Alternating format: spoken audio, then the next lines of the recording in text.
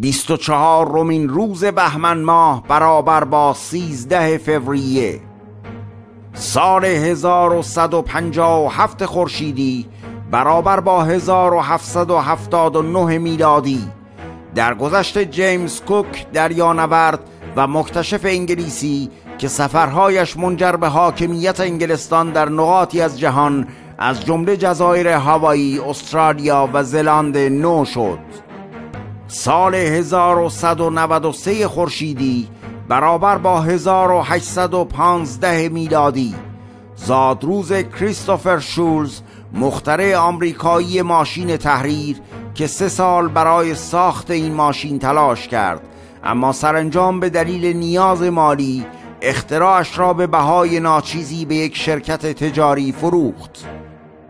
سال 1254 خورشیدی برابر با 1876 میلادی. گراهام بیل دانشمند بریتانیایی اختراعش تلفن را به ثبت رسانید.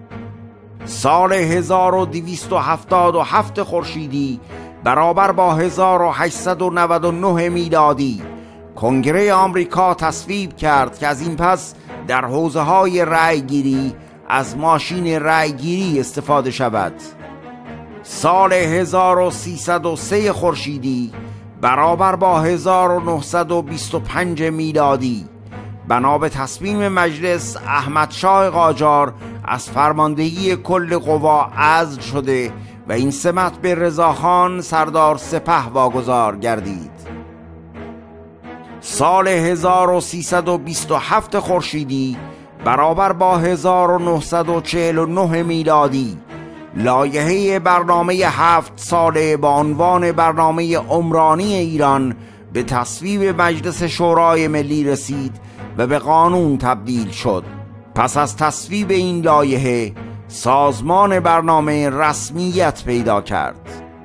سال 1336 خورشیدی برابر با 1958 میلادی با قدرت گرفتن جمال عبدالناصر در مصر و اوجگیری شعارهای پان عربیسم مسئله وحدت کشورهای عربی مطرح شد و این امر موجب شکل گیری جمهوری متحده عربی میان مصر و سوریه شد.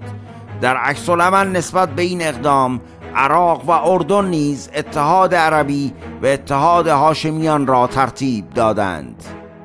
سال 1340 خورشیدی برابر با 1962 میلادی. در گذشت سید علی نصر پایگزار هنر تئاتر ایران او نمایش و تئاتر را در اوایل مشروطیت آغاز کرد و سپس برای آموختن این هنر به اروپا رفت و پس از بازگشت هنرستان و هنرپیشگی را بنا نهاد و خود به تدریس تاریخ هنر پرداخت. سال 1341 خورشیدی برابر با 1963 میلادی. پروفسور مارتین اسکات اولین پیوند کلیه انسان را در انگلستان با موفقیت انجام داد. سال 1351 خورشیدی برابر با 1973 میلادی. ارزش دلار و کلیه ارزها در بانک مرکزی و سایر بانک ها کاهش یافت. سال 1352 خورشیدی برابر با 1974 میلادی. نمایندگان ایران در سازمان ملل مدعی شدند تانک های ایران پنج کیلومتر در خاک عراق پیش رفتند.